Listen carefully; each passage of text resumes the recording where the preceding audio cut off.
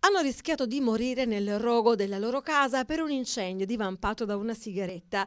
Per fortuna nulla di grave, solo tanta paura ed un principio di intossicazione per una coppia di parabita, 84 anni lui, 75 lei, attualmente ricoverati negli ospedali di Gallipoli e di Casarano.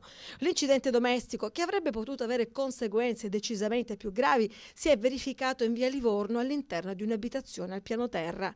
Stando ad una prima ricostruzione affidata ai vigili del fuoco del distaccamento di Gallipoli e dai carabinieri del nord di Caserano, l'uomo, evidentemente abituato a fumare a letto, avrebbe lasciato la sigaretta ancora accesa sul comodino.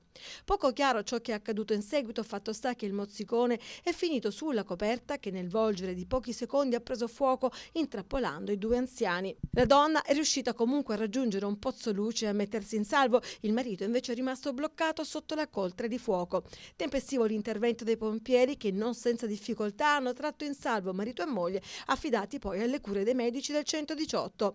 L'incendio ha danneggiato non solo la camera da letto, ma anche altre stanze dell'abitazione. Epilogo decisamente diverso, e ora ci spostiamo a Veglie, ha avuto un altro incidente avvenuto in casa. Un 75enne del posto, Antonio Leonardo Coluccia, è stato stroncato da un infarto mentre fumava a ridosso del camino.